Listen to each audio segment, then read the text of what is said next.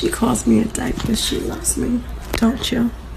You love me. Get the f off me, you dumb Just a minute. fuck off. You love me as your friend. No, you've been treating me rude. You've been fucking kicking me, bitch. off. So what do you guys think about Erica Mena and Nikki Mudarris? Now they're saying that they're friends. I think that there's more going on here. I mean, they seem to be very, very close. I mean, there was a much longer video of them on social media, and it's it's, it's freaking hilarious. Erica Mena is rapping. She's dissing Bow Wow, dissing Mally Mall.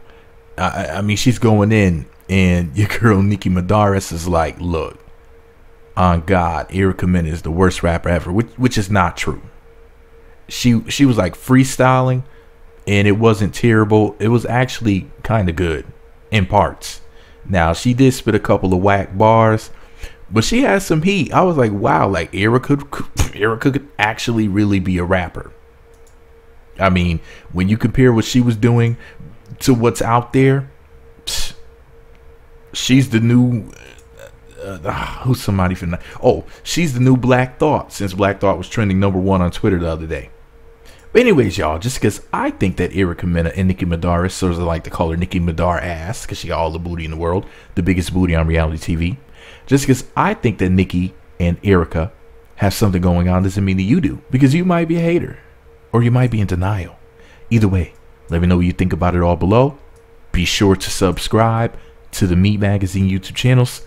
Visit meetmagazine.blogspot.com for more. Follow me on Twitter at MEET Magazine. MEET Magazine 7 on Google Plus, MEET Magazine blog and Instagram. Hit the notification button. It's right next to the subscribe button. Looks like a bell. Once you click that button, you'll be sent alerts to be notified when new videos get posted.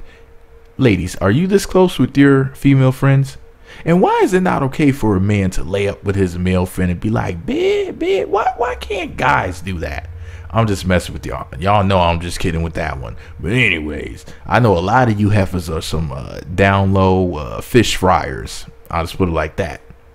I know a lot of y'all are into the women's on the side, but I ain't gonna call out no names. But if you're feeling offended right now, I'm probably talking about you, fish breath.